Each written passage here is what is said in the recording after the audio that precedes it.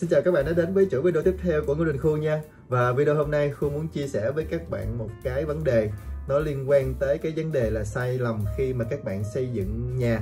Có thể các bạn là thầu và Khuôn cũng là thầu Nhưng mà Khuôn cũng đã dính một cái sai lầm này.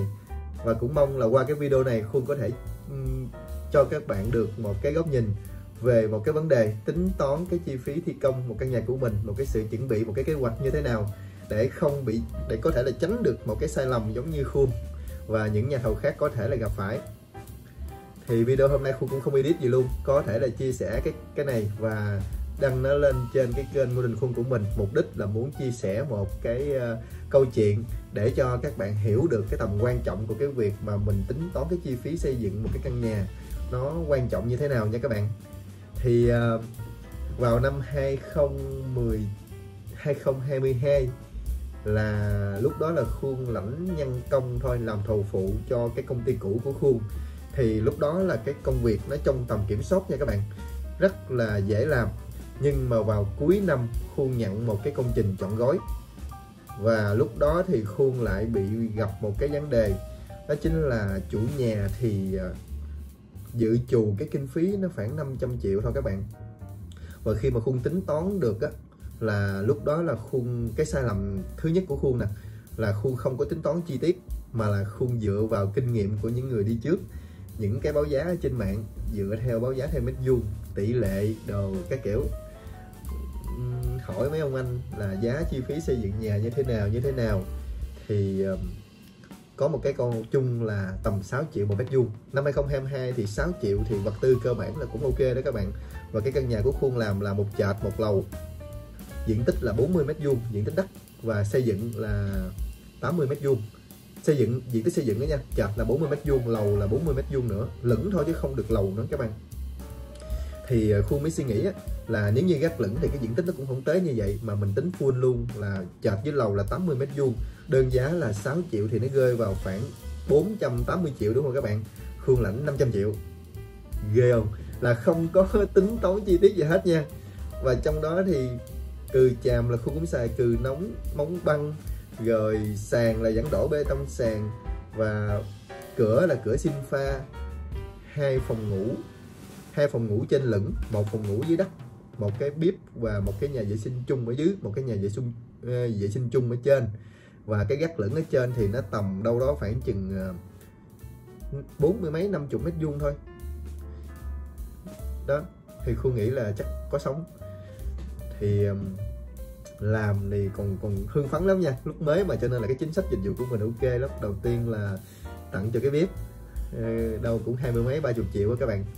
Rồi cuối cùng các bạn biết cái công trình đó nó ra bao nhiêu tiền không? 578 triệu. Chưa bao gồm chi phí sau này khuôn bảo hành bảo trì luôn đó nha.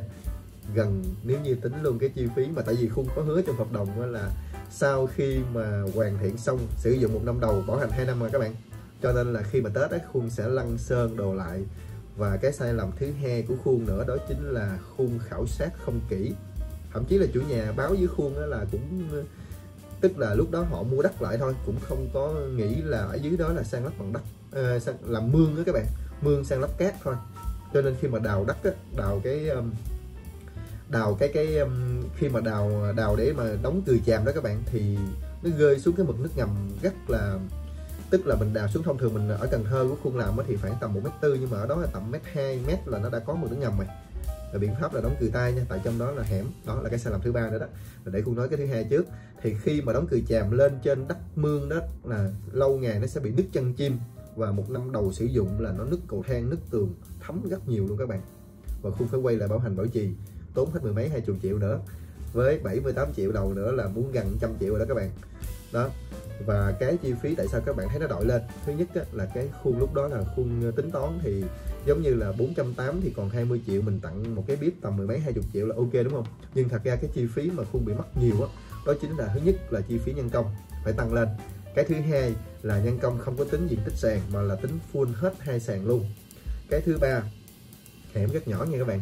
Cái hẻm đó chỉ có xe xe đầu kéo vô được khoảng tầm 5 tắc 6 tắc thôi. Thì khi mà vào đó rồi là sắt thì không nói nè xi măng thì cũng hao hụt nè, nhưng mà cát với đá nó đội lên rất nhiều.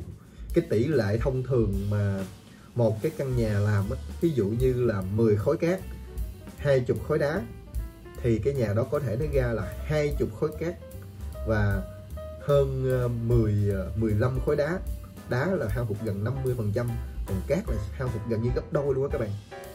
Do quá trình ờ, nói chung là mình đỡ đồ cung các nhà cung cấp thì không được, tại vì lý do mình có kiểm soát nhưng mà nó hao hụt rơi vãi rồi hẻm nhỏ đi đó. Mình đo mình đo xe nhưng mà không kiểm soát được hết các bạn. Đó là cái kinh nghiệm mà xương máu của khuôn sau này là bắt buộc khuôn phải có một cái bạn uh, kế toán vật tư thu nhận vật tư luôn. Vật tư lại tới là đo xe kiểm tra chụp hình đồ báo cáo lên đầy đủ hồ sơ thủ tục khuôn với thanh toán thanh toán tiền. Còn như hồi trước là mới ra thiệt tình là làm nhân công chuyển qua làm vật tư đó các bạn là dính và công trình đó là rất là đau luôn. Khuôn nhớ tới bây giờ kể mà còn thấy nó đau á. Cho nên là các bạn khi mà xây nhà lần đầu hoặc là các bạn đang là nhà thầu xây dựng á, thì cũng rút ra được cái bài học của khuôn để mà tránh ba cái sai lầm đó. Thứ nhất là cái chỗ báo giá theo mét vuông các bạn phải tính chi tiết rõ ràng. Cái thứ hai là các bạn phải tính toán móng cho nó kỹ để tránh bảo hành bảo trì sau này. Và cái đó là cái dịch vụ của khuôn cho nên là khuôn phải làm. Nó phải ok mới được. Cái thứ ba là điều kiện thi công nó trong hẻm là các bạn phải tăng cái chi phí lên ít nhất là cũng 5 cho tới 7 phần trăm. Tại vì chi phí hoàn thiện thì những cái thiết bị hoàn thiện thì nó sẽ không có hao hụt nhiều à nhưng mà cái phần thô nó hao hụt. Khuôn nói khuôn nói là cát với đá nó nó nó sẽ bị à, hao hụt về cái khối lượng như vậy, nhưng mà các bạn chỉ tính theo cái tỷ lệ là 5 7 phần trăm thôi, chứ nhiều quá là nó ra rất là nhiều. Thì à, khi đó nếu như mà 6 triệu mà lên bị trù khoảng chừng 6 triệu rưỡi hoặc là 7 triệu 7 lần 8 50 7 lần 8 là 56 là nó vẫn chưa có đủ đâu đâu luôn các bạn. Nó là vốn mà khuôn bỏ ra luôn á. Khuôn chưa tính là chi phí và kỹ thuật của mấy anh em luôn các bạn. Cho nên đây cũng là một cái sai lầm của khuôn. Và khuôn cũng là nhà thầu và nhiều nhà thầu khác cũng gặp phải.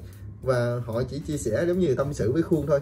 Đó là làm thầu mà thì à, phải có căn này căn kia, có căn lời nhiều, có căn lỗ, có căn lợi ích có căn này không có lời thì bù qua sức lại thì vẫn sống được. Nhưng mà mình gặp những cái sai lầm như vậy thì mình cũng phải mình cũng phải mình cũng phải lường trước nha các bạn. Và cái căn của khuôn thì nói thật là cái phát sinh là khuôn cũng không lấy được luôn.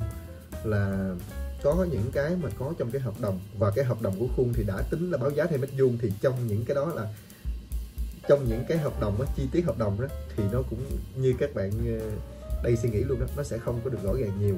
Cho nên là trong quá trình hoàn thiện thì chủ nhà có đòi hỏi nhiều cái chi tiết nhỏ nhỏ nhỏ nhỏ nữa.